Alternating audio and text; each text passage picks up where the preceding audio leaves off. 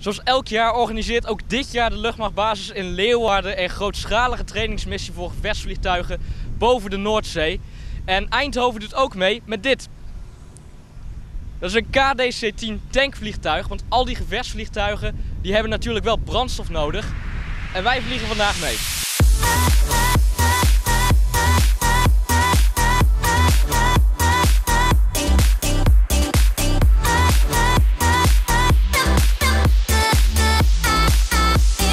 Vliegbasis Eindhoven draagt zijn steentje bij aan de grote internationale luchtmachtoefening Frisian Flag. Het is een jaarlijkse oefening met jachtvliegtuigen waar verschillende landen aan meedoen.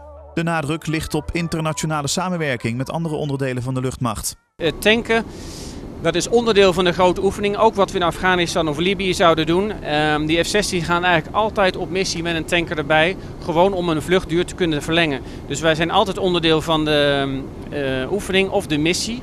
En dus als je gaat oefenen, moet je die tanker er ook bij halen. Want anders kan je zeg maar, misschien maar twee uur vliegen. En door die tanker kan je nog veel langer vliegen. Eindhoven draagt bij door de KDC-10-tanker beschikbaar te stellen. Die hoog in de lucht boven de Noordzee 25 F-16's van brandstof voorzag.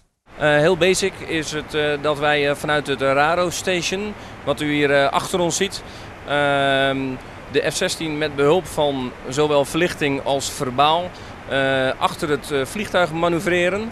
En op het moment dat het vliegtuig in de juiste positie zit, uh, dan, uh, nou, dan, dan plaatsen wij de boom, heel makkelijk gezegd, de tankstang in de F-16 en dan gaan wij brandstof geven. Ik doe dit al 15 jaar, dus ik, ik zie het nog steeds als een uitdaging, omdat elke vlucht toch anders is. En je mentaal moet voorbereiden daarvoor.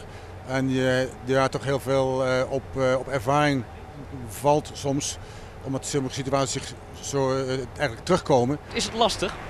Uh, het is lastig. Uh, daarom uh, valt en staat alles met juiste communicatie, getraindheid en dus samenwerking van twee teams. En daar bedoel ik mee de mensen hier in dit vliegtuig en de mensen in het te tanken vliegtuig, in dit geval de F-16. De oefening duurt nog tot en met volgende week vrijdag.